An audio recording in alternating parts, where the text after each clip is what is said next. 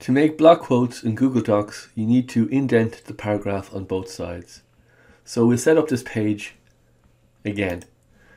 So that's the start, and we have the middle paragraph here. I'll copy that in, and there you can see it's left aligned to the previous paragraph. So we click on the start of the paragraph and click indent. So it's indented on the left and now to indent it on the right, we go up to the little arrow and pull it across. And then we go to make the next paragraph and we're stuck in the left indent. So we can then unindent it, decrease the indent,